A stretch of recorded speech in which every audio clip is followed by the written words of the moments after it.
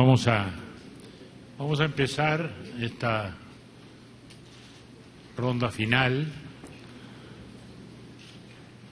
que no, que no es de, de declaraciones formales, sino de conclusiones sustantivas. Es el momento entonces de agradecer, como presidente del Círculo de Montevideo, a don Carlos Slim por la generosidad de hacernos de anfitrión en esta reunión, agradecerles a todos ustedes que han permanecido todas estas horas siguiendo los debates, tratando de acompañarnos en estas reflexiones que hemos hecho sobre nuestro mundo, nuestro momento, nuestra América, los tiempos de la globalización, lo que estamos viviendo, en fin. Llega ahora entonces esta ronda final. Hemos hablado de la crisis, la crisis económica. En Sudamérica aún no la sufrimos. Acá en México la sufrieron un poco cuando Estados Unidos tuvo un año de caída, pero enseguida se recuperaron. Lo que tenemos claro es que esto no va a ser eterno y que en algún momento esto va a producir algunas alternativas de cambio. Cuando todo va bien, como pasa hoy en América del Sur, todos los barcos flotan.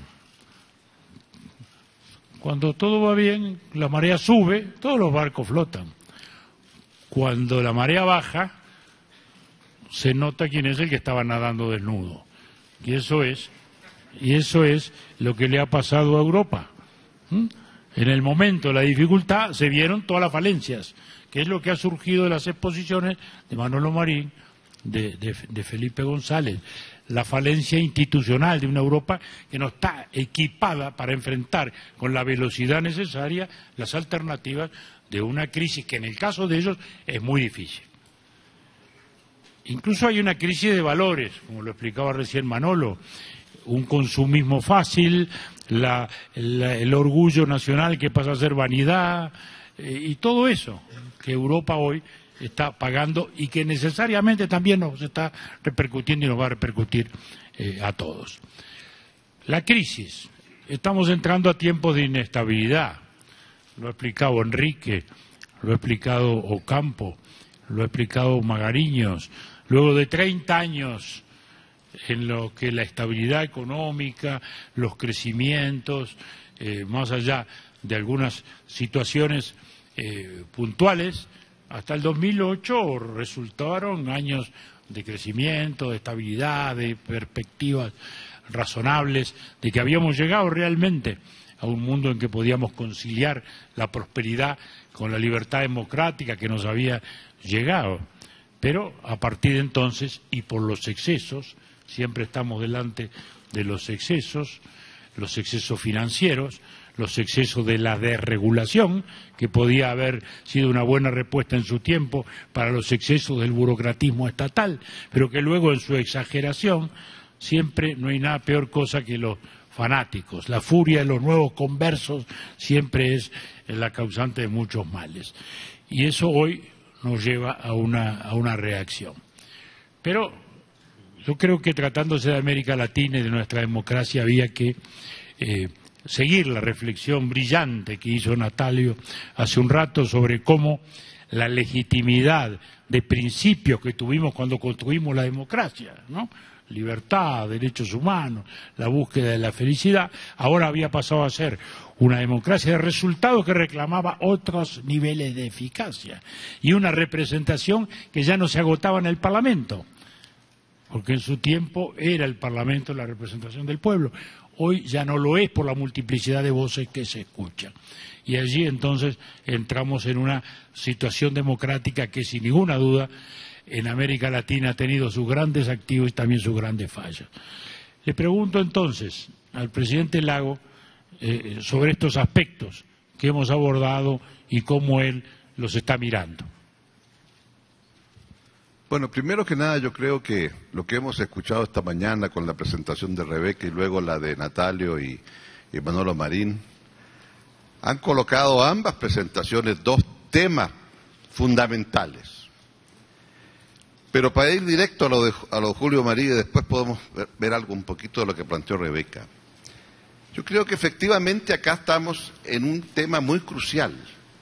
Se explicó muy bien. Acá, para citar a, Natalio, acá lo que tenemos es un gran estallido, como dijo él, de la escala de la participación política. Y claro, estábamos acostumbrados que la política consiste en un dirigente que emite sus ideas y cada cuatro años o cinco el ciudadano va, vota y dice si está de acuerdo o no. Y de repente las nuevas tecnologías hacen que ese político que está acostumbrado a emitir ideas y un ciudadano receptor se inviertan los papeles y ahora todo es simultáneo. Usted emite, pero también aquel que recibe la idea del dirigente le responde de inmediato. Dije una vez, es que ahora volvimos a la plaza de Atenas. Claro, no, no la de hoy día, por cierto, no, la, la de Atenas de, de Pericles, ¿no? Pero claro, allí era una ciudad-estado, ahí viene el tema de la escala, que decía Natalio, una ciudad-estado. ¿Y quiénes participaban? Bueno, las mujeres no, por cierto. ¿Quiénes participaban? Los varones todos, no, no, no, los esclavos no, por cierto. Y vamos reduciendo entonces a los ciudadanos. Y aquí, en cambio, con las nuevas tecnologías, participan todos, millones. Y entonces, primera pregunta, ¿cuánto de nuestra democracia a futuro va a ser representativa y cuánto va a ser participativa? ¿Y cómo si decimos que queremos instituciones que garantizan la participación, esas instituciones no nos llevan al desgobierno? Entonces, acá tenemos que aprender a hacer una mezcla de ambas cosas. Sí, algunos han dicho, ¿puede el ciudadano, si junta un número X de firmas, exigir un plebiscito para que ese plebiscito diga sí o no a una legislación aprobada por el Parlamento? O sea, ¿pueden los ciudadanos decir, estos señores a quienes yo elegí mi representante aprobaron una legislación que no me gusta?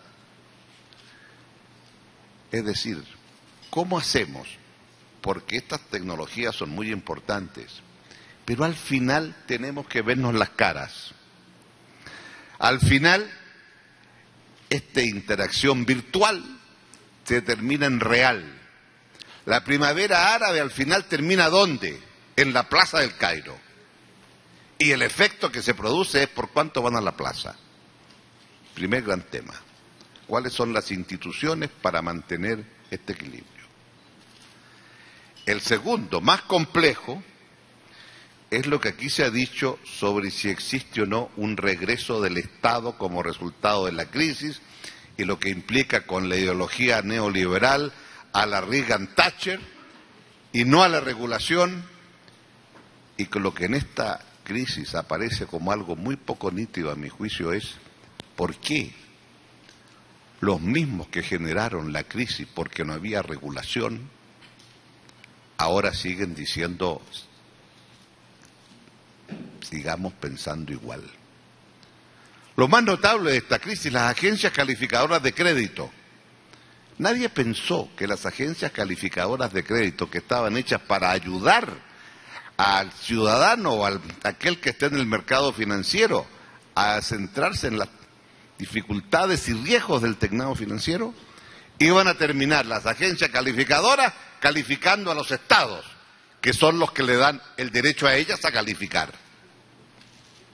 Es que esto comenzó recién por allá por el 1970, cuando el Estado, el gobierno accedió a los mercados financieros a través de los bonos del Estado. O sea, pregunto, vamos a volver a las agencias calificadoras de riesgo, que el día antes clasificaban de triple A, a lo que al día siguiente dijeron que era bono basura. Tercero, ¿por qué me parece tan importante este aspecto? Porque quiero citar también a Bobbio. Bobbio tiene una frase preciosa que dice que toda sociedad requiere un mínimo civilizatorio Un mínimo en el cual esa sociedad, dependiendo su nivel de crecimiento, de riqueza, dice, este es el mínimo civilizatorio para mis ciudadanos y para que mis ciudadanos puedan participar. Pues bien, ese mínimo civilizatorio, ¿quién lo define? Lo define el ciudadano. Los ciudadanos a veces quieren mínimos demasiado altos. Habrá que explicar para esos es dirigente por qué no se puede. Y aquí suscribo entero esta nueva característica de la política que nos decía Manolo, ¿verdad? Que hay que hacer la cuña de los 30 segundos en televisión. Y si en su discurso no está la cuña de los 30 segundos, no importa lo que usted haya dicho, usted no aparece en las noticias a las 9 de la noche. Entonces, aquí tenemos un mínimo civilizatorio. ¿Por qué me parece tan crucial? Porque eso lo define el ciudadano. Entonces, si me apura usted un poco, tengo que decir, en último término, lo que queremos es una sociedad que los ciudadanos definen el tipo de sociedad en la cual se quiere vivir y los ciudadanos definen ese mínimo. Eso es demasiado importante para dejárselo al mercado, porque si esa característica de qué sociedad tenemos lo define el mercado, el mercado va a reproducir las desigualdades propias de los consumidores que son los que participan en el mercado. Por tanto, si no digo nada, la sociedad será definida por el mercado, con las desigualdades del mercado, porque los consumidores, todos consumimos, pero depende nuestro consumo del tamaño de cada uno de nuestros bolsillos. En cambio, cuando usted tiene el Estado de Derecho y lo define y son los ciudadanos los que participando en el Estado democrático, en la forma como aquí lo hemos entendido, ese Estado democrático dice, este será el mínimo civilizatorio. Lo cual no quiere decir que para entregar ese mínimo usted no pueda recurrir a los instrumentos del mercado. Por cierto que sí, puede ser muy útil. Lo importante es, y fíjese usted, esto lo hemos aplicado en nuestra América Latina siempre. Cuando dijimos educación obligatoria, cuatro años, o después dijimos seis años o ocho años, ahí estábamos diciendo los ciudadanos, este no es un tema para el mercado, queremos garantizar este mínimo. Y en consecuencia, cuando planteamos el tema de instituciones, las instituciones son las que nos permiten entonces a los ciudadanos definir el tipo de sociedad que queremos. Y a partir de eso entonces podemos hacer una distinción. Uno querrán tener un mínimo más alto, más bajo, etcétera. Anécdota muy pequeña. Estoy inaugurando un hospital. Cuento las maravillas del hospital, por cierto. Y cuando termina la ceremonia se me acerca un ciudadano y me dice, perdón, presidente, agradezca, no le quise interrumpir. Pero ¿qué hospital nos ofrece usted? Se da cuenta, este hospital no tiene escáner. Bueno, cuando usted es presidente tiene una ventaja, ¿eh? las preguntas complejas, mira para atrás, hay un ministro que tiene que responder por usted. Entonces, miro para atrás, ese es mi problema ahora, que miro para atrás y no hay nadie, pero bueno, ahí miro para atrás y miro al ministro y el ministro me dice, eh, presidente, lo que pasa es que 50 kilómetros más allá, en tal localidad, ese hospital sí tiene escáner. Y yo, ¿Ve usted, señor? Ahí está la respuesta. Y nuestro ciudadano me dice, perdón, presidente, yo quiero que en mi ciudad, mi hospital, tenga escáner. Bueno, él pensaba que el desarrollo de Chile daba para que en cada hospital hubiera escáner y no, si hay 50 kilómetros más allá, no lo hubiere. Ese es el tipo de definición que trato de explicar. Y creo entonces que lo que nos pasó en estos 30 años en donde el encandilamiento neoliberal significó un retroceso de ciertas normas mínimas de instituciones para abordar esto. Última reflexión. Ante la situación de Europa, creo que ha quedado muy claro que aquí hay que ir hacia una unión fiscal. Esto quiere decir que como la crisis es tan grave, hay que arrancar, pero arrancar para adelante. Hay distintas formas de arrancar uno arranca también para atrás, ¿no? Porque lo que viene es muy fuerte. No, aquí para adelante. porque lo que no es viable y yo no conozco que funcione es una sola política monetaria con un banco central y 16 políticas fiscales distintas. Y eso nos lleva entonces a cómo tenemos una unidad fiscal y a cómo tenemos entonces lo que con tanta claridad nos enseñó Manolo Marín hace unos minutos, de que el próximo primero de enero, antes de enviar el presupuesto al Parlamento de cada país, hay que enviárselo a la Unión Europea para que dé el visto bueno. Y eso entonces es un paso tremendamente importante y significativo. Y no me cabe duda que al hacerlo, buena parte del tema que nos convoca va a estar resuelto. Pero a la larga, lo que implica es cómo generamos espacios para que ahora los ciudadanos, que son todos emisores de opinión, puedan también tener instituciones para hacer valer sus mayorías en algún momento. Hago un pequeño subrayado, que no siempre se hace porque suele resultar antipático. Todo el ejercicio democrático termina en la responsabilidad del ciudadano. Si la democracia en definitiva termina en nuestra responsabilidad, no solo en la de los liderazgos, no solo en la de los partidos, decía Manolo, esos liderazgos maravillosos son siempre peligrosos, sí lo son, pero también lo es cuando el ciudadano se inclina a encandilarse. Yo ando mucho por América Latina, voy a Perú, a Fujimori no lo votó nadie, no, lo votaron y lo religieron. Voy a la Argentina, Menem parece que bajó de un helicóptero, no, lo votaron y lo religieron. Es decir, el ciudadano es, con su racionalidad, con su madurez, el que le va a dar a la democracia también madurez y estabilidad. Las instituciones van a poder funcionar vivificadas por esa opinión, pero cuidado, no expresada a través de la seducción del demagogo. Señalaba el presidente Lago el tema de Europa y el tema de la crisis. Le pregunto ahora a Enrique este, sobre ese aspecto, este, los caminos que aquí se señalaron. Habló Felipe, habló Manolo, habló este, Ocampo, en fin, eh, todos dieron sus visiones. Eh, y usted mismo dijo, entramos en un periodo de inestabilidad. El acomodo no va a ser rápido ni va a ser sencillo, va a requerir muchos reajustes. Bueno, ¿en, qué, ¿en qué momento estamos en esa perspectiva? Gracias. Bueno, yo creo que después de las jornadas de ayer y la de hoy, quizá flote un poco en el ambiente una visión inquieta sin duda, pero además quizá podía caer en un exceso de pesimismo, de tanto frente que abordar. Yo creo que tenemos que apelar aquí al optimismo histórico en el sentido de mirar un poco para atrás al mismo tiempo que miramos para adelante. Estos últimos 100 años en la historia de la humanidad han sido espectaculares, es decir, el hombre ha hecho en 100 años lo que no hizo en los últimos 4.000 años. Y eso es el fruto, primero, por supuesto, de los avances en capacidad de convivencia. A pesar de todos los conflictos, se evitó el gran holocausto, que no es poca cosa. Cuando yo soy de la generación de los 40, cuando salíamos de, la creación de Naciones Unidas, era para nosotros ver evitar el holocausto nuclear. Bueno, eso se evitó. Hay muchos otros conflictos, pero eso es importante.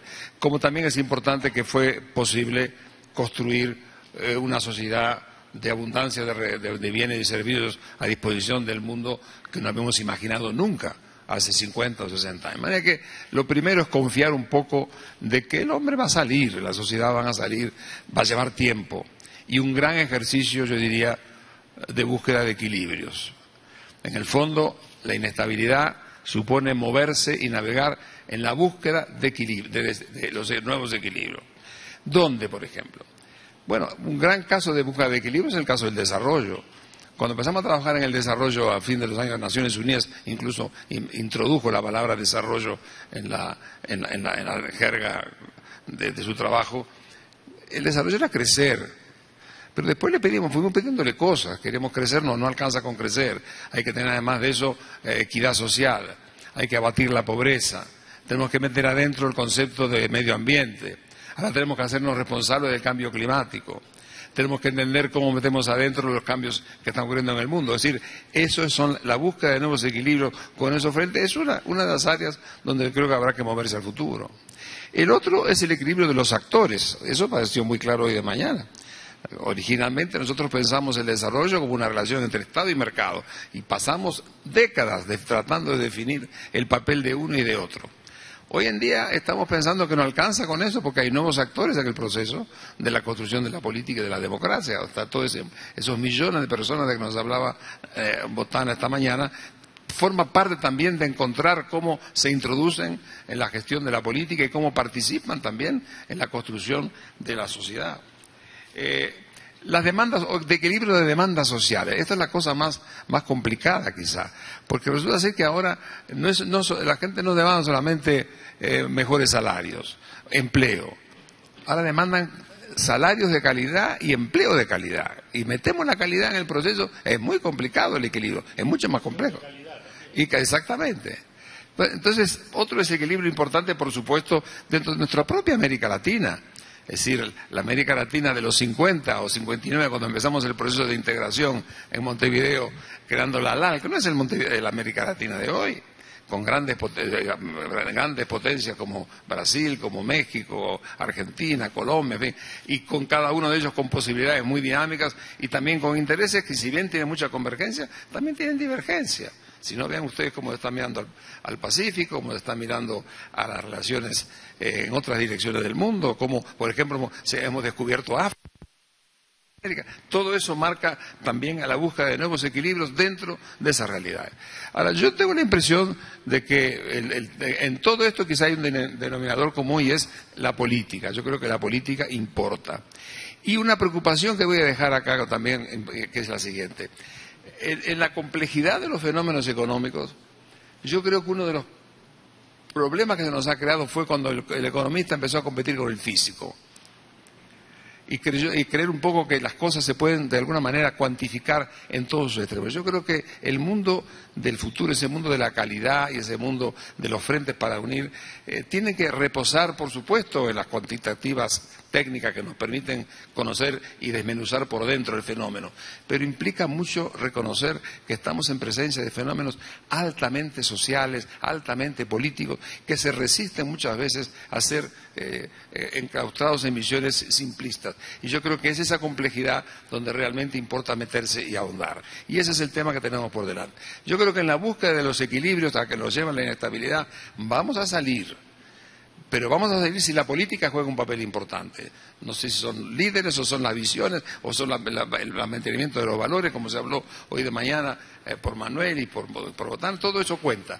Pero me parece que en el fondo eh, la, tarea va a ser lenta, va, a tener, va a tener posibilidades de conflictos, algunos traspiés, y de ahí que más que nunca la visión de la política inspirada en ciertos valores fundamentales deba ser la meta. Es decir, más allá, y, las instituciones, por supuesto, que respondan a todo eso. La complejidad social ha quedado clara. Por un lado tenemos el tema de la desigualdad, lo planteaba Insulza ayer. Es la mayor eh, quiebra hacia la democracia que tenemos es ese desafío. Pero la complejidad viene del ascenso de las clases medias, que es otro tema que ha surgido aquí. Y las clases medias son siempre más demandantes tienen idea de qué pedir, ya no la subsistencia.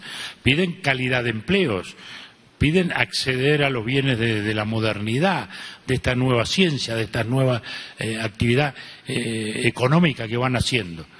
Y es sobre eso que yo le pediría al ingeniero el dime una, una apreciación de cómo está viendo esa perspectiva. Gracias, presidente. Buenas tardes.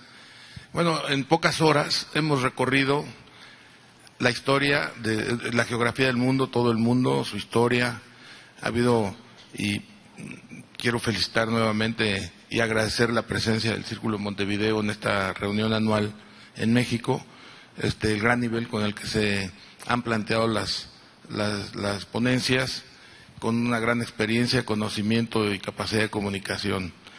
Y creo que en pocas horas hemos tenido oportunidad de escuchar las eh, distintas eh, áreas y los ángulos de la situación mundial, no solo la europea, sino en general eh, de todo el mundo. Y yo quiero solamente subrayar que en los últimos 50 años se ha gestado la gran revolución tecnológica que estamos viviendo.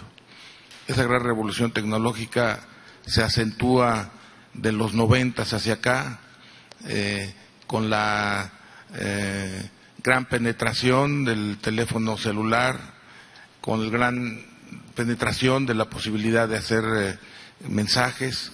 Probablemente estamos hablando de seis mil millones de, teléfonos celulares en una población de siete mil, o, cuando menos cerca de eso. el Internet de banda ancha y en general toda la tecnología. Y al mismo tiempo, eh, a pesar de como dice Enrique, de la gran producción de bienes y servicios a bajos muy costos, a costos muy bajos y de manera masiva, eh, ha habido una enorme transformación en todos los sentidos. La productividad ha aumentado enormemente en toda, toda la producción de estos bienes y servicios, por eso se pueden realizar así. Y, esta tecnología que ha acelerado su, proceso de, desarrollo de manera muy, muy eh, impactante, muy alta y de manera especial, está teniendo consecuencias enormes porque está transformando totalmente a las sociedades. la nueva civilización que desde hace 40 o 50 años empezaba a anunciar, ahora está entrando, aunque está en sus principios, está entrando con fuerza y está afectando, como lo hemos visto en todas las reuniones, la parte económica, la parte social, la parte política. Y eso es, yo creo, el problema sustantivo de, lo que está pasando. Es una transformación civilizatoria que tiene eh, paradigmas 180 grados opuestos a los de las sociedades agrícolas. Afortunadamente todos sus paradigmas son generosos, virtuosos, eh, se sustentan en el bienestar de la población, se sustentan en, eh, en que en, que toda la población pueda tener conocimiento, tenga educación, que haya movilidad social, que tenga lo que decíamos que señalaba el presidente Sanguinetti, eh, eh, buena calidad en la educación. Es una sociedad también del conocimiento, en que la educación moderna y de calidad es, fundamental. Y, se sustenta, como, como decíamos, en el bienestar de todos. Pero ¿qué está ocurriendo? Que este cambio al no conducirse el cambio, al no conducirse el cambio en sus diversos este, aspectos, está provocando crisis profundas. Y está aflorando la, eh, la, no sustentabilidad o no, del, del estado de bienestar que Europa, después de la Segunda Guerra, empezó a ofrecer a su población. Retiros jóvenes, este, trabajos este, eh, no de mucho, eh, de mucho, de mucha intensidad de esfuerzo, eh, salud universal, educación universal, y resulta que países que tienen probablemente dos terceras partes ya del Producto Interno Bruto, como el caso de Francia, entre el presupuesto, entre la recaudación fiscal y los déficits, este, está entrando, está entrando en crisis. Y además de que entran en crisis y que tienen dos terceras partes del producto de un país desarrollado que en los, desde la Segunda Guerra se ha multiplicado muchas veces, no ha, sido capaz de darle siquiera este, salud universal ni garantizar el retiro de las personas en un futuro mediano. Entonces, se requiere, y esta crisis es una gran oportunidad, de hacer los enormes cambios estructurales, no los enormes, los importantes cambios estructurales que requiere la nueva civilización. Decía yo ayer que no era un tiempo de cambios, sino un cambio de tiempos. En realidad no solo es un tiempo de cambios, o sea, además del tiempo de cambios, que normalmente los tiempos de cambios son eh, relativamente eh, posibles de hacer, de conducir sin llegar a grandes transformaciones, este es un tiempo, esos son cambios de tiempo en el que los cambios que se requieren hacer son estructurales de gran importancia. Y bueno, yo creo que ese es lo que en el fondo es el problema. ¿Y cómo se pueden resolver y cómo se están transformando estas cosas? También hemos escuchado cómo en la política la tecnología ha hecho que pasemos de una democracia representativa a una democracia participativa. Ahí fue la tecnología. Necesitamos también usar esa tecnología en la educación de calidad. Es imposible, eh, es insostenible, es, improbable que los países puedan dar calidad en la educación a toda la población, sobre todo los países como los nuestros en desarrollo, pero también incluyo a los países desarrollados, sin acudir a la tecnología. Necesitamos acudir a la tecnología y hay muchos esfuerzos en India, en Inglaterra, en Estados Unidos, en varios países, del uso de la educación no presencial, en que a través de la tecnología se educa de manera gratuita y, para, y con un costo muy bajo al, Estado y a, los privados que lo hagan para la educación universal. Es, el, por ejemplo, el proyecto de la Khan Academy, Khan Academy, que es educación para todos en donde sea libre. Entonces ya, ya, ya existen estos pasos. Pero también en la salud, en la salud, eh, hablábamos de la, de la, de todos los, la bioingeniería y la biotecnología, la importancia que va a tener y por supuesto en la salud, la genómica está avanzando a pasos agigantados, va más rápido que la ley de Moore muchas veces. Este ya eh, lo que costaba 10 mil dólares hacer el mapa de una persona hace unos poquitos años, ahora cuesta 100 dólares y estamos ya en una situación de investigación muy avanzada en, todo lo que es genómica, que va a ser la única forma de atender la salud de la, de la población que vive ya no 60 años, sino que vive 85, 90 años y que el costo de las enfermedades es muy es sustancial y es insostenible con los recursos y las formas de hacerlo. ¿Y qué pasa, por ejemplo, con las crisis que estamos viviendo? Esta crisis que viene del 2000, sobre todo, aunque se agudizó en 2008 y se está agudizando de nuevo, pero que no se ha resuelto, solamente se ha ido paleando para eh, evitar caer en una crisis profunda se sigue dando la medicina de la crisis de los 30, de la crisis del 29, políticas monetarias y, fiscales agresivas eh, como una forma de, evitarla, pero más bien es una forma de diferirla y volverla más aguda porque se hace a base de incremento de los déficits, incremento de las deudas, este, y, bueno, pues no, no es la forma de resolverlo. Entonces creo que es una oportunidad y de, esa gran transformación. Y que de plano, como eh, comentario eh, básico, es decir que la tecnología que ha hecho la transformación civilizatoria, que está transformando al mundo y que lo seguirá transformando cada vez más profundamente en los próximos años, porque diría yo que estamos apenas comenzando con esta etapa de la influencia de la tecnología en la transformación civilizatoria, este, es muy importante que se hagan los cambios necesarios para que funcione y se conduzcan todas estas, eh, eh, eh, no solamente las, el estallido que, se mencionaba anteriormente, este, participativo, este, democrático y de exigencias, por supuesto también, y que se conduzcan y que se establezcan las instituciones para conducir estas este, eh, demandas de la población, la voz que se manifiesta ahora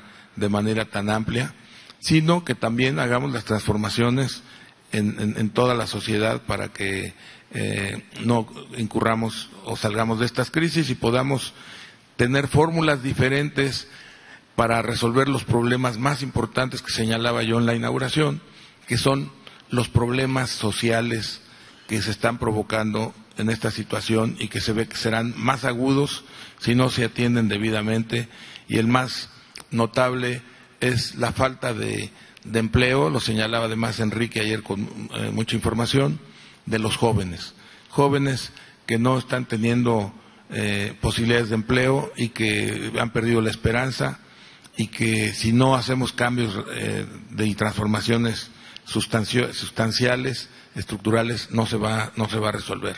Y uno de los cambios, por supuesto, este, será impulsar todas aquellas actividades nuevas que, que van a generar mucho empleo, ver dónde queremos estar en 10 años, qué pensamos que en 10 años, va a estar, y obviamente pues el, el, cuidado de, la gente mayor, este, va a ser un, área de empleo, la pequeña y mediana empresa, el, el, sector agropecuario, la, biotecnología, todas aquellas actividades ligadas a la tecnología de la información y de la comunicación, este, el turismo, el entretenimiento, la educación misma, o sea, son numerosas actividades. Ayer se mencionaba eh, el uso de la tecnología para eh, trabajar en forma parcial, en donde hay grupos de 600 mil personas trabajando en proyectos que ni conocemos nosotros este, a través del uso de la tecnología. Entonces, esto, eh, subrayarlo y nada más como mensaje, aunque puede ser un poco pesimista, aunque yo soy muy optimista de que esta tecnología es, digo, esta nueva civilización es virtuosa y generosa, es que el cambio de la sociedad agrícola a la industrial, por no haber sido conducida, provocó enormes eh, costos sociales, humanos, económicos eh, y de todo tipo. Al pasar de la sociedad agrícola a la industrial hubo guerras mundiales, hubo revoluciones, hubo guerras civiles, hubo experimentos sociopolíticos y tuvimos 200 años de, problemas en esa en ese eh, cambio que no se condujo adecuadamente por no entender qué era lo que estaba pasando. Que no nos pase ahora lo mismo de que por no conducir estos cambios, eh, eh, no verlos, no entenderlos, ni encontrar las soluciones para, para conducirlos, entremos en, en, problemas y vemos ya que estamos teniendo uno importante en esta crisis que no solamente es económica, sino que está teniendo otras características este, adicionales. Gracias. Esto nos ubica en la nueva frontera. Hay una nueva frontera que es esa, cómo la sociedad se adapta al cambio tecnológico y cómo salimos de los ni-ni, ¿no? los jóvenes que ni estudian ni trabajan. Esa es la, la batalla hacia la vanguardia. Pero también sobreviven batallas de retaguardia. Todavía, como una sobrevivencia en los tiempos de la Guerra Fría y ahora transformaciones, tenemos guerrillas todavía. Ya no son las guerrillas políticas de otro tiempo, ya la revolución pasó, hay narcoguerrillas, y ese es otro fenómeno que desgraciadamente está allí. Rebeca Grimpan hoy nos explicó que hay mejores resultados, pero aún no suficientes en lo social. Presidente Betancourt, usted que ha lidiado con muchas guerrillas, este, y les ha dado la cara más de una vez. Cuéntenos cómo está viendo eso hoy.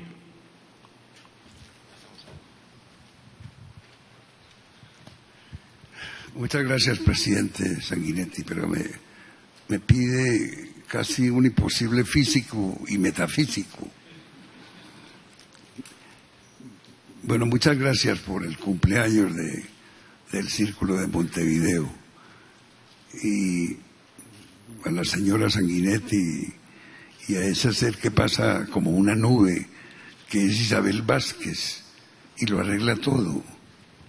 Y a Carlos, a Carlos Erlín, por haber organizado este encuentro.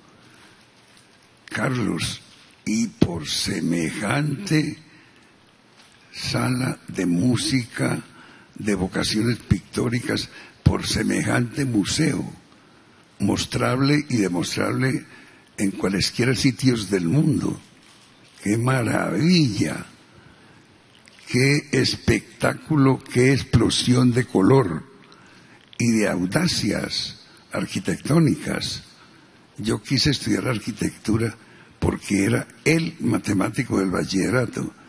Hice un año de arquitectura y al cabo del año el eh, profesor, el rector, que era un sacerdote, me dijo, a derecho, a la facultad de derecho, que a ti como que te gusta la política y para la política quizás sea mejor ser abogado que arquitecto. Pero qué arquitecto el que hizo el museo y el desquite de los dioses o la compensación conmigo en cuanto a la arquitectura es que tengo una nieta que es arquitecta de la Universidad de los Andes y un nieto que es arquitecto de la Universidad Javeriana. De manera que estoy blindado y de las mejores universidades.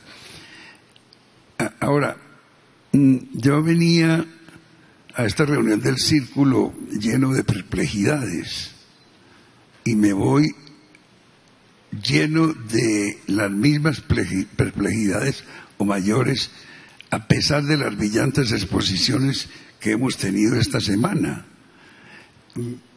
Me ocurre lo que hace muchos años, en que yo posaba de sociólogo, economista, abogado, me daba muchas ínfulas, y UNESCO convocó a un congreso de profesores de sociología en la Universidad de Stanford, en California, para conocer y oír al célebre, al celebérrimo sociólogo ruso Sorokin.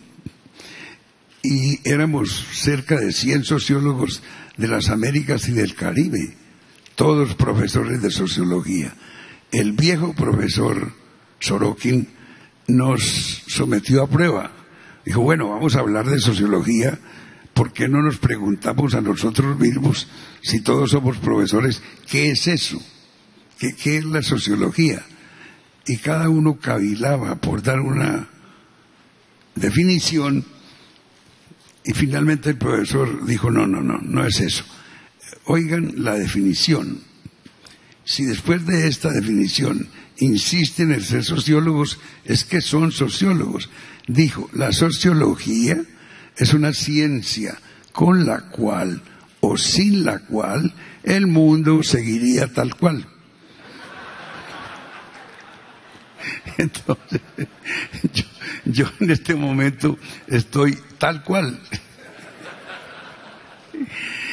Bueno, y mis perplejidades van en la dirección de un mea culpa, de que no he alcanzado a penetrar en posibles respuestas creativas a la situación actual. Y no Enrique por pesimista. Pues ya sabemos la definición de pesimista. Un optimista bien informado. No, no, por eso, sino porque eh, no hemos atinado en siquiera unas soluciones posibles, imaginarias, kafkianas, si se quiere, o borgianas, y, eso le está ocurriendo exactamente eso al mundo. Aplicadas todas las teorías que hemos oído esta semana tan brillantemente expuestas, mm, le doy, trato de darle una respuesta al presidente Sanguinetti sobre las guerrillas o los movimientos guerrilleros. Mm, cuando llegué al gobierno de Colombia, yo creo que fue por allá, en la alta edad media, cuando llegué al gobierno de Colombia, me hice la pregunta de por qué el tratamiento que mis antecesores habían venido dando al problema de la guerrilla, ¿por qué no había dado resultado? Y no por tontos mis antecesores. Generalmente creemos que los antecesores fueron un tanto tontos, ¿no, Ricardo? Y que no... Sí, y que los sucesores no están preparados. bueno, y entonces, entonces me hice esa pregunta, ¿qué le pasó? ¿Qué les pasó a los gobiernos anteriores? El problema estaba ahí. Entonces me puse a cavilar en el porqué de los movimientos guerrilleros, de los procesos subversivos en tantos sitios del mundo, pero fundamentalmente para ese entonces en América Latina. Y entonces, con la sociología que aprendí del doctor Sorokin y con la aplicación pragmática de esa filosofía, di con estas percepciones. Eh, los campesinos o los estudiantes, los profesionales jóvenes que se iban para la guerrilla, en ese momento guerrillas que había en Centroamérica y fundamentalmente en Colombia, varios movimientos guerrilleros, esos jóvenes no se van para el monte a jugarse la vida porque sí, como el amor y como las rosas, no. Lo hacen motivados por algunas causaciones porque en algún momento se les bloquea la capacidad analítica y reflexiva. Y al bloqueársele, pues buscan escapes a esa capacidad analítica y encuentran equivocadamente, por supuesto, que el escape es irse al monte, a correr el riesgo de que lo asesinen y de asesinar. Entonces, hice el descubrimiento de algo que ya estaba descubierto. Y fue que esos jóvenes se iban para la guerrilla por ese bloqueo mental en primer lugar. Y en segundo lugar, porque había unas motivaciones en la praxis, en la vida misma de la nación, que los obligaban a eso. A ver, ¿cuáles motivaciones? En primer lugar, había unos factores positivos, subjetivos, que eran los guerrilleros mismos, los tupamaros o las FARC en mi país.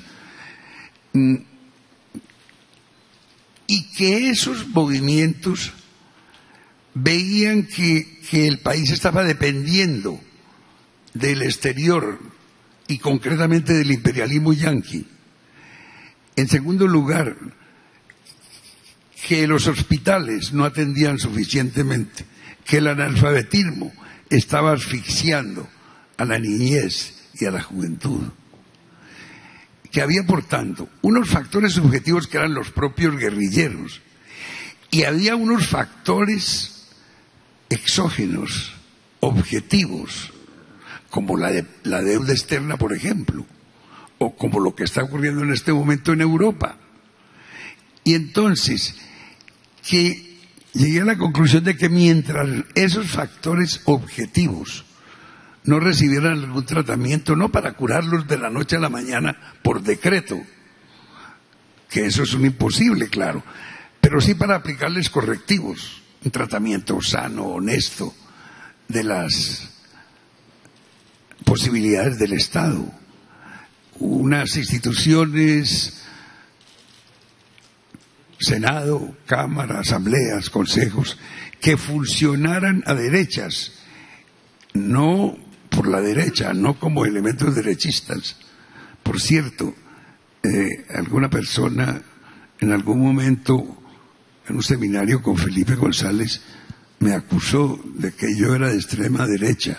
Le dije, antes de seguir la discusión, quiero rectificar, yo soy de extrema izquierda. Y hubo una carcajada en general, eh, parecida a esa. y usted de extrema izquierda, sí, yo soy la extrema izquierda de la extrema derecha. Me dijeron, ¿y eso qué es? Eso tan raro que es el extremo centro. O sea, yo soy de extremo centro. Provengo del Partido Conservador, que en mi país, el presidente Sanguinetti los conoce muy bien, no lo llaman el Partido Conservador, sino la caverna conservadora. Y no es la caverna de Platón propiamente la caverna conservadora. Bueno, y que entonces había que dar tratamiento a esos factores objetivos y también a los factores subjetivos, es decir, a los guerrilleros, con los cuales en mi país en ese momento estaba cerrado el diálogo, porque el tratamiento que se estaba dando a la guerrilla era un tratamiento militar. Pues a conversar con la guerrilla. Y aquello fue el gran escándalo y empezó, empezó por retirarme mi partido el apoyo con que yo había llegado al poder. Mi partido era minoría y unas alianzas estratégicas me llevaron al gobierno y derroté a mi viejo amigo el presidente López Miguel, que ya había sido presidente, hijo de Alfonso López Fumarejo, que fue presidente dos veces entonces para mí eso era como un reto permanente de imaginar travesuras a mi contrincante y utilizar toda clase de, instrumentos. Ya recuerdan ustedes que Maquiavelo en El Príncipe dice que en política se permiten todos, todos los procedimientos, inclusive los lícitos. Y entonces, por, ejemplo, había unos programas de la televisión pactados entre los candidatos, López Miguelsen y Betancourt, antes de las elecciones, dos semanas antes. Y mm, se sortearon los turnos. Y el primero le tocó a López Miguelsen, el segundo a mí, el tercero a López y el cuarto a mí. Y un desengaño en mis huestes. Ah, le tocó el primero. Y yo les dije, calma, a nosotros nos toca el último. Y el que dice la última palabra, mm, calma, calma. Bueno, mm, y entonces el doctor López Miguelsen me estado atacando porque yo estaba hablando de las casas sin cuota inicial y de la universidad a distancia. Entonces me lo tergiversaban así, que yo lo que ofreciera, universidad sin cuota inicial y casas a distancia. Me volvían añicos. Sin embargo, en la penúltima, en la última programación de la televisión, dije, permítame los televidentes un apunte personal. Es este. El señor López Miguelsen viene atacándome en el sentido de que las propuestas que estoy haciendo no son válidas, no se pueden. Es que es negativista. El doctor López Miguelsen, sí. Mm, me recuerda el caso de un amigo, dije por la televisión, que era tan negativista, tan negativista, que un día tuvo un accidente de automóvil y perdió el conocimiento. Y cuando recobró el conocimiento, como era tan negativista, no volvió en sí, sino en no. volvió en no y el doctor no. Y entonces ya en el gobierno, pues a conversar con los guerrilleros y a formar grupos de aproximación a los distintos movimientos guerrilleros. Y firmamos acuerdos, Julio, con grupos que tú recuerdas, con las FARC, con el MLN, sí. Cometí toda clase de errores, toda clase de equivocaciones. Yo creo que en parte esas equivocaciones mías como gobernante, en parte por lo que un senador norteamericano en un celebérrimo libro llamaba La arrogancia del poder. Porque en ocasiones el poder nos infla y nos hace susceptibles y arrogantes. A un amigo mío que era ministro y, amigo mío desde la adolescencia, le decía yo que lo había nombrado ministro con el objeto de que me hundiera alfileres cuando me viera muy inflado, a ver si volvía a la realidad. Firmamos acuerdos con varios movimientos políticos, pero no resolvimos por completo las motivaciones objetivas que habían llevado a esos jóvenes o a esos campesinos a la guerrilla. Terminé mi gobierno con una gran frustración y una gran perplejidad, aunque aclamado por otros sectores. Pero mis errores fueron tan garrafales que la desilusión que me, me produjeron, esos errores fueron muy grandes.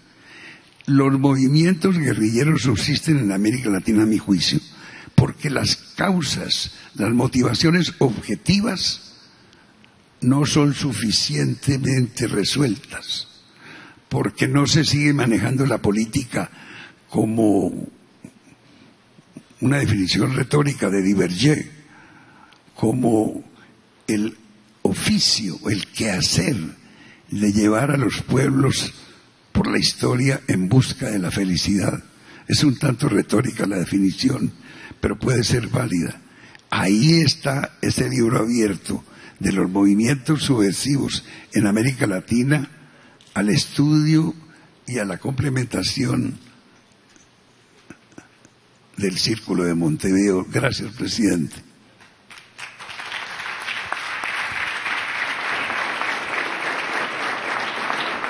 Belisario siempre nos trae el momento de encanto con su poesía, con su manejo del idioma tan colombiano, ¿eh? tan, tan exquisito. Yo hago un apunte. Todo eso ocurría bajo la Guerra Fría y hoy la Guerra Fría ya no está. Yo ayer dije una frase suelta simplemente, pero eso es una cosa muy importante en el panorama democrático actual. Eh, ya no hay guerrillas financiadas desde Europa del Este, ni desde Cuba, ni tampoco hay golpes de Estado organizados o bendecidos desde el Pentágono, ¿no? Para hablar claro. De modo que es así. Pero hay otra cosa peor que el narcotráfico. Y ese es hoy sí el alimento, el alimento desgraciadamente de esa, de, esa situación con el crimen organizado que está allí. Eh, saludo la, la presencia del jefe de gobierno del Distrito Federal, Marcelo Orbarán, que nos hace el honor de acompañarnos también.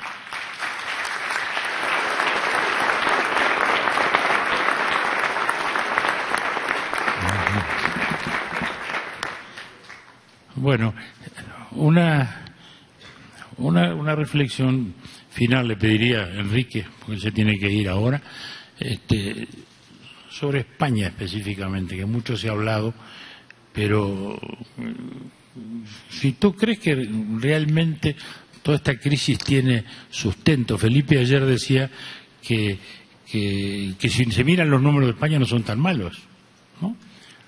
y que comparados con los de Inglaterra son hasta mejores, y que en definitiva hay hoy un fenómeno económico, pero hoy hay una necesidad política para devolver la confianza y, comenzar a terminar con la cuestión.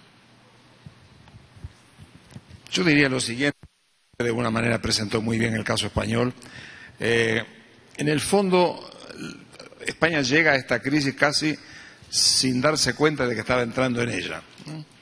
Eh, las cifras eran las que sabemos, bajo déficit, bajo endeudamiento del sector público, eh, una situación muy manejable en materia de crecimiento económico, estadísticas de inflación aceptables. Pero estaba pasando un fenómeno en paralelo, para hacerlo muy simple, que fue el endeudamiento del sector privado, que tuvo mucho acceso al crédito, particularmente de los ahorros alemanes, de los ahorros franceses, para expandir todo el sector inmobiliario. En el fondo, la crisis española parte del gran boom inmobiliario. Ayer creo que lo recordaba Felipe, España llegó a construir 800.000 viviendas por año, que era tanto como las viviendas que hacía Inglaterra, Francia y Alemania juntas. Entonces, eso obviamente... Eh, cuando se produce la reacción crítica que parte de Estados Unidos y repercute en Estados Unidos, empiezan los temas bancarios, empiezan a generarse los problemas que todos conocidos y España entra en crisis de endeudamiento fundamentalmente del sector privado. Hoy en día eh, la reacción de España es, espectacular, lo que está haciendo el gobierno en materia de ajuste es muy fuerte y por, por, tanto también muy cuestionado. Pero yo creo que España tiene que hacer una reforma fiscal como la hicimos nosotros en los años en los años 90 tuvimos que hacerla. Solo que España no puede resolver solo el problema. Está en una unidad monetaria. Si está en una unidad monetaria donde no hay un prestamista de última instancia que salga a, resolver los temas de liquidez, el tema se le complica. Por eso que digo, entró casi sin darse cuenta que estaba en un sistema de unidad, de unidad, monetaria en donde no había un prestamista de última instancia. También lo vive Inglaterra, pero emite las libras. ¿Eh? También lo vivió Estados Unidos, pero el dólar emite la Reserva Federal. Entonces se encontró con un problema muy difícil porque no puede resolver solo el problema si de alguna manera la comunidad como un todo no responde a la creación de liquidez. Y entonces se encontró con que no hay, no hay hoy ayer aparentemente empiezan a aparecer las reacciones del Banco Central Europeo, pero una moneda y una, un área monetaria que no tenga prestamistas de última instancia está condenada a tener grandes problemas. Y eso es lo que está pasando en España ahora. En el fondo están haciendo un esfuerzo muy importante. Yo creo que hay que recortar, como nos pasó a nosotros, desde luego también, pero ¿qué le pasa? Que al no tener una reforma, eh, un acceso a la liquidez, el tema se concentra fundamentalmente en, el tema fiscal y el tema fiscal, si no hay estabilidad financiera, no se soluciona. Entonces, por lo contrario, se va profundizando la recesión y el malestar. Entonces yo creo que ese es un poco el tema central de España. Yo espero que haya de parte de la Unión Europea y sobre todo eh, de parte del Banco Central una reacción para la liquidez y que los países superavitarios dentro de la familia europea comiencen a abrir sus puertas, como decía ayer Ocampo, eh, mejorando sus niveles de salarios, abriendo, deportando su capacidad de importar de los países que tienen problemas para levantar su capacidad de generación de ingresos. Yo creo que es un tema delicado, muy, muy dramático, eh, y como digo, el, país y la sociedad están en un momento de gran convulsión, pero yo creo que finalmente, a partir de ayer, se abre una luz de esperanza de que España puede empezar a resolver su problema. Muchas gracias.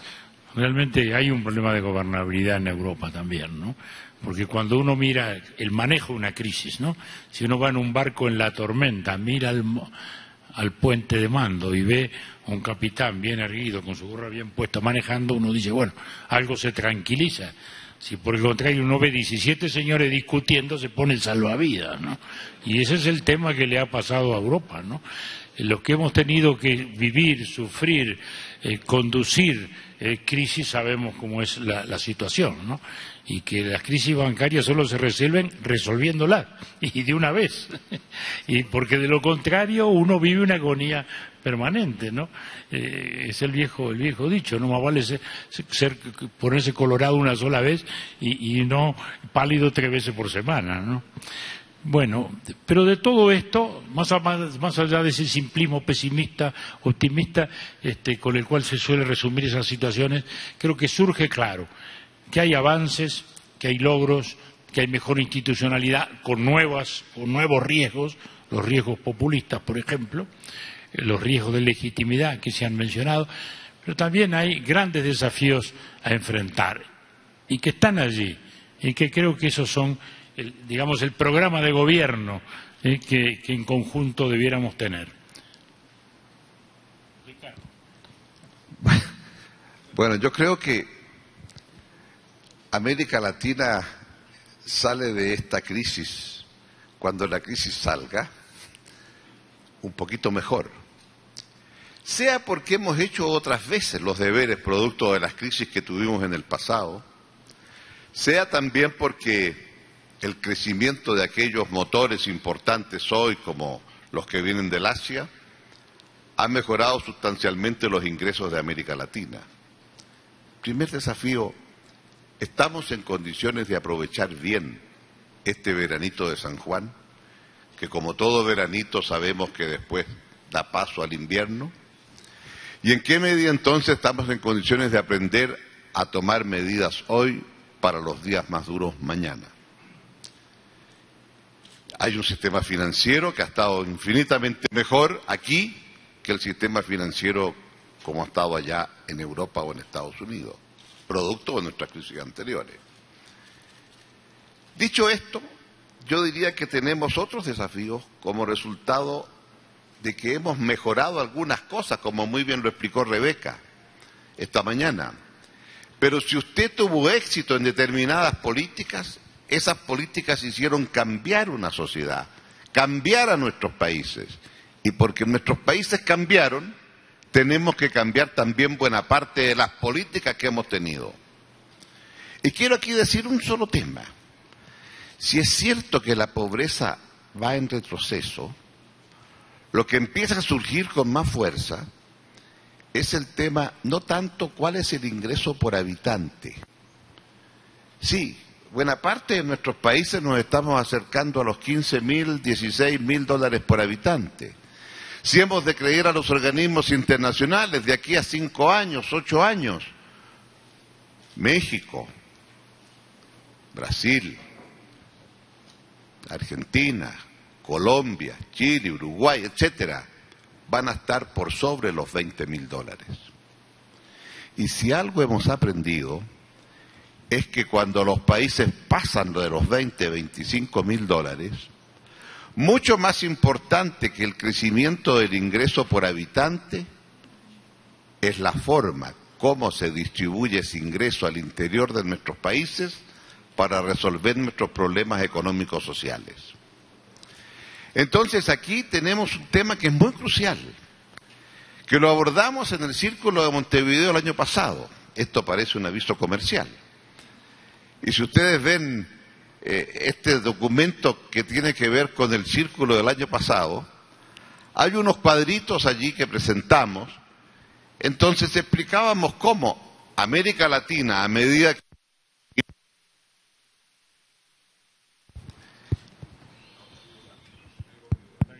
América Latina, a medida que iba aumentando el ingreso por persona, iba mejorando los indicadores económicos sociales, la esperanza de vida, la disminución de mortalidad infantil, los mayores niveles de escolaridad, los mejores niveles de salud, etcétera.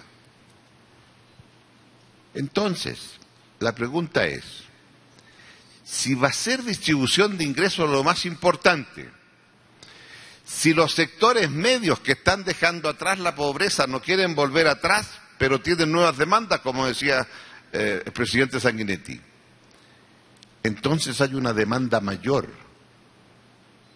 El mínimo civilizatorio de Bobbio empieza a aumentar. Y esos sectores medios tienen otras demandas que son más difíciles de satisfacer. Y entonces tenemos que mirar si así como en la década de los 90 del siglo pasado hicimos algunas tareas, ¿cuáles son ahora? Y uno diría, ¿queremos mejorar?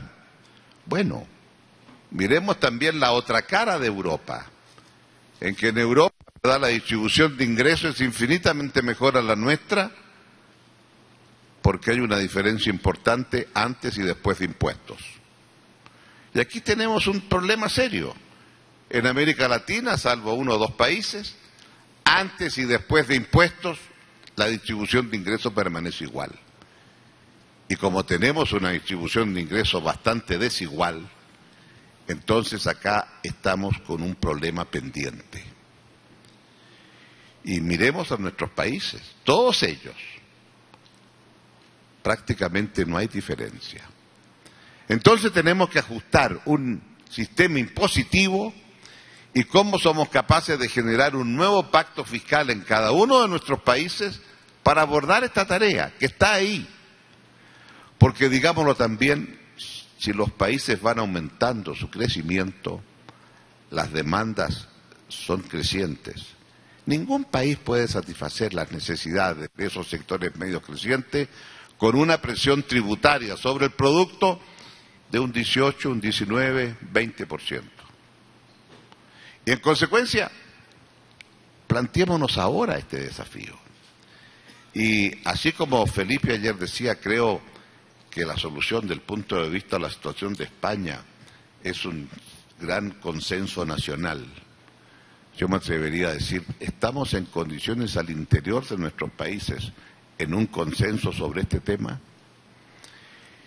y poder en consecuencia dar el salto que tenemos que dar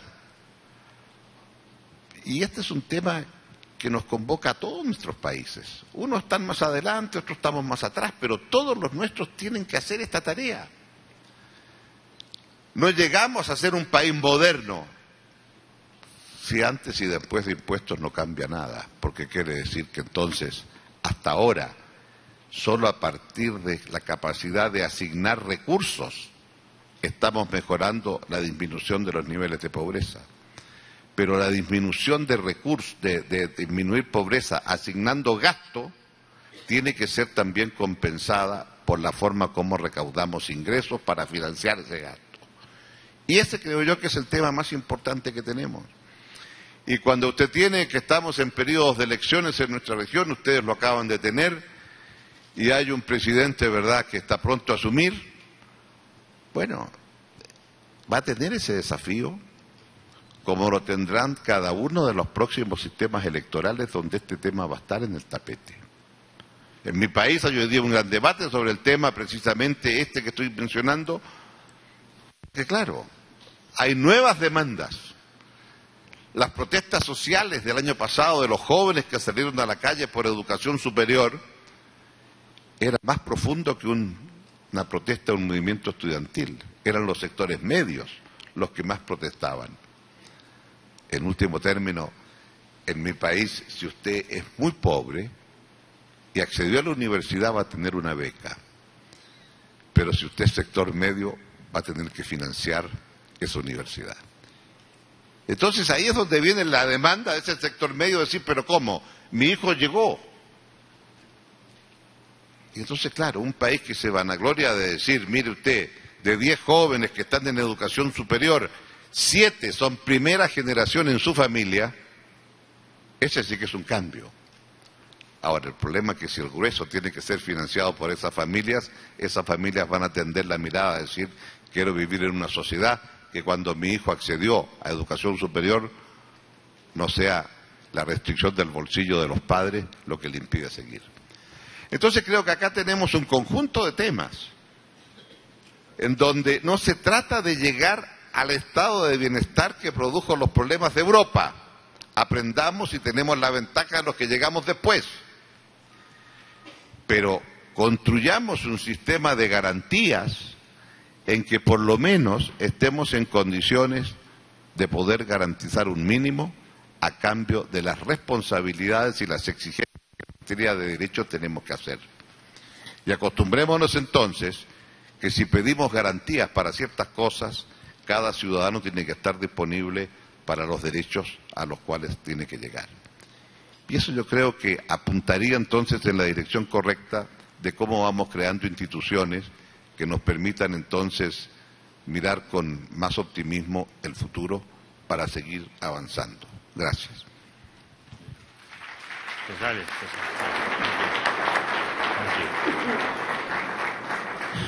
Ingeniero, el, círculo tiene una, una, particularidad, se lo digo a, a nuestro público, ¿no? Hay gente que venimos de la política, hay gente que viene de los organismos internacionales, hay gente que viene de la economía, y hay gente que viene de la empresa. Son factores distintos, son visiones diferentes. Y eso es lo que creo que enriquece el diálogo. ¿eh? Usted es un empresario, digamos, global latinoamericano. ¿Cómo, ve ese panorama hoy?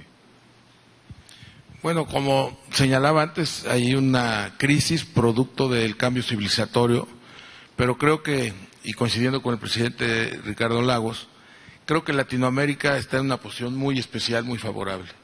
Primero, estar ya a niveles de ingreso per cápita de 10 a 12 o 15 mil dólares, eh, eh, eh, en, mi opinión, a esos niveles se rompe la barrera del subdesarrollo. La fuerza de gravedad del subdesarrollo, por llamarla de alguna forma física, se rompe y una vez que se accede a niveles de 15 mil o como señalaba el presidente, de 20 mil dólares en 10 años o menos, eh, ya no se regresa. Estamos viendo crisis en el mundo, de Grecia, Europa, en general España, pero tienen ingresos per cápita de más de 30 mil dólares. Y pues el problema es que baje a 25 y ya es una catástrofe, o 27 o 26. Y aquí estamos hablando de que una vez que se rompe esa barrera del subdesarrollo, viene una, eh, un círculo virtuoso en que se van formando clases medias, se va sacando de la marginación y de la pobreza a parte de la población y esa va sustentando el desarrollo. Entonces entramos en un, en un proceso eh, virtuoso, sobre todo si está bien conducido. Eso no tengo duda y esa es una gran oportunidad en, la que tenemos eh, en Latinoamérica. Pero además de eso, eh, tenemos finanzas públicas sanas después de la gran crisis del 82 y de las otras crisis que hemos vivido tenemos un sistema financiero también sano, bien capitalizado en general, habrá algunos problemas en algunos lados. Hay poco crédito bancario, lo cual en, algunos países, especialmente en el caso de México, es una gran oportunidad y una gran eh, eh, necesidad que pueda haber financiamiento para complementar e impulsar el desarrollo del país.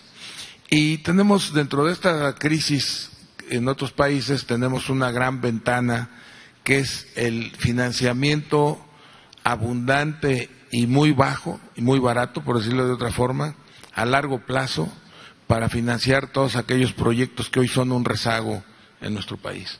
Entonces, podemos acceder al ahorro externo, no necesariamente como inversión extranjera, sino como crédito o asociación en la inversión. Lo que siempre fue el límite de nuestro desarrollo y el problema principal, un gran obstáculo que era el financiamiento de los proyectos y de la inversión, eso es ahora una gran oportunidad. Quiere decir que eh, las necesidades de inversión que son enormes en nuestros países eh, tienen ahora la posibilidad de ser financiadas, no solo con el ahorro interno, sino con el ahorro externo, este, no en forma de inversión directa extranjera, sino también en forma de crédito.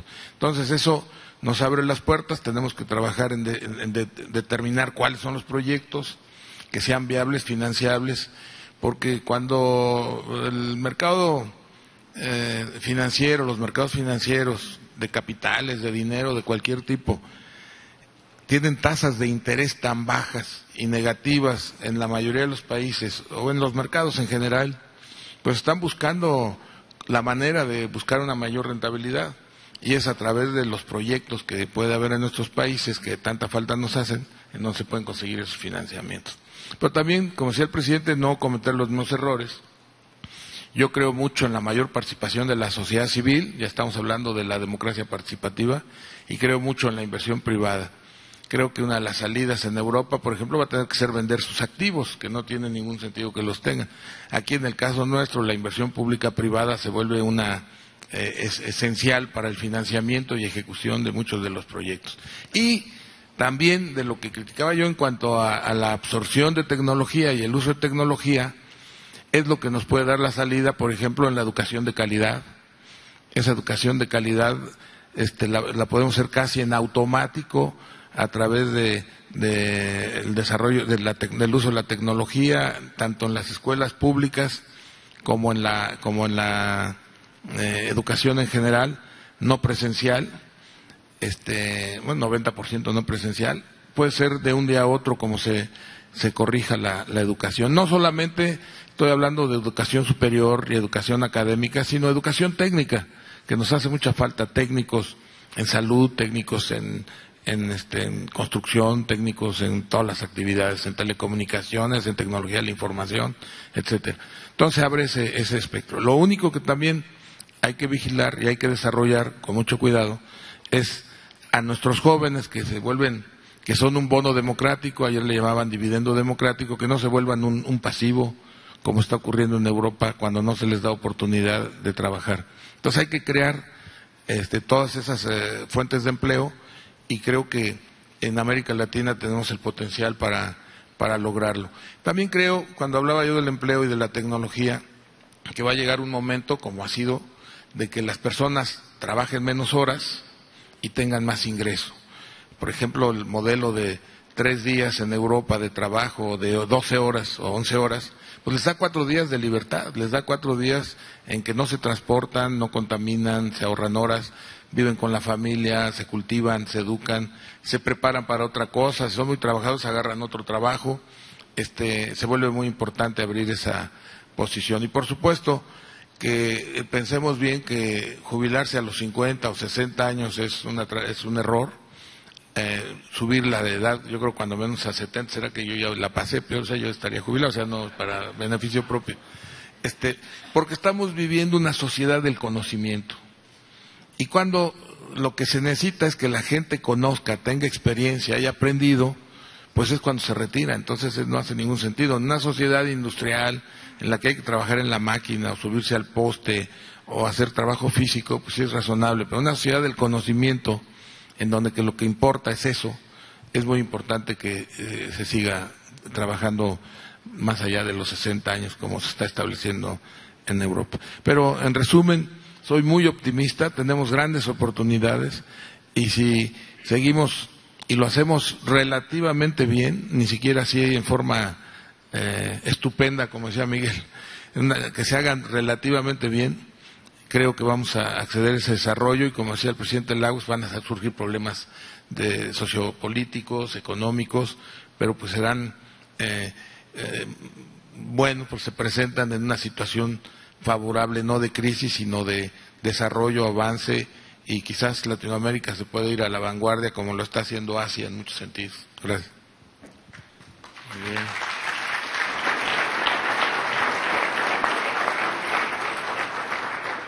Bueno, para ir concluyendo, yo diría que luego de todos estos debates nos queda claro que estamos hoy enfrentados al desafío de recomponer el Estado, de recomponer la política, de usar los nuevos instrumentos en una nueva sociedad.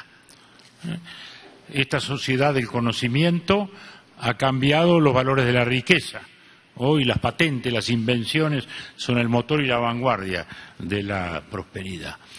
La sociedad de la información ha puesto eh, eh, y de la comunicación ha puesto en las manos del individuo oportunidades antes no conocidas. Todo esto en un mundo global.